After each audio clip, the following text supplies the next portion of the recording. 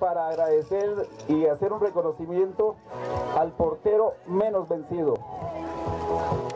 Eso hay que tomar, hay que revisar todos los reportes arbitrales, hay que, hay que ser lo más justo.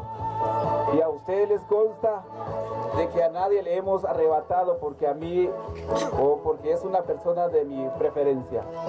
Al contrario, en este año entonces el portero menos vencido entonces le corresponde a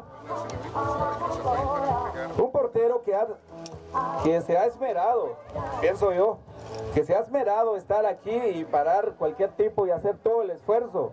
Y entonces, para ello entonces, yo quiero felicitar a Luis Mushtay, que es el arquero menos vencido para este campeonato 2014. El décimo campeonato entonces, vamos a darle Don Mardoqueo, vamos a ceder la palabra para que él nos vaya ayudando a hacer la premiación.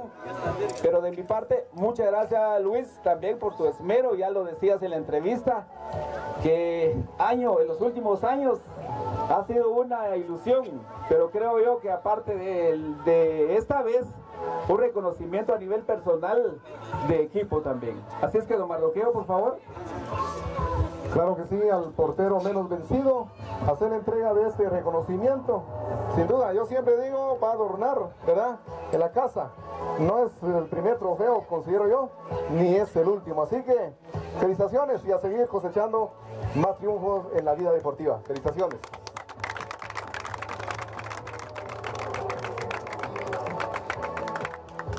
Muy bien, vamos con el goleador.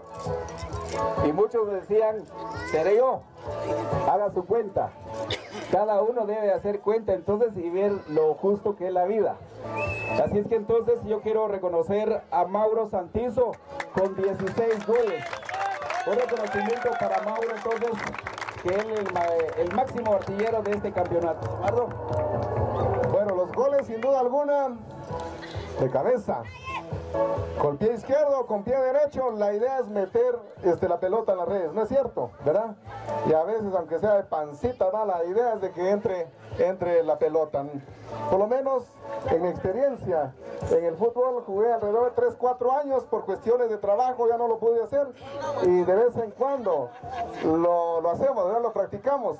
Pero como decía un amigo, creo que Balvino lo decía, es la edad, ¿verdad? Pero seguimos practicando el deporte ya con los veteranos para ponernos al nivel de ellos. Así que una gran felicitación por esos goles. Y miren, yo quiero dejarles una recomendación o un consejo. He visto en el deporte a nivel municipal cuando ya la persona ya tiene cualidades, tiene experiencia, que a veces se hace derogado. Creo que eso es malo para el deporte, sino que yo considero debe ser todo lo contrario. Ser humilde, ser sencillo y mostrar que Dios nos ha dado grandes cualidades y apoyar al equipo. Ahí donde está el corazón está el alma de uno. Así que felicitaciones y aquí está el reconocimiento para esta ocasión.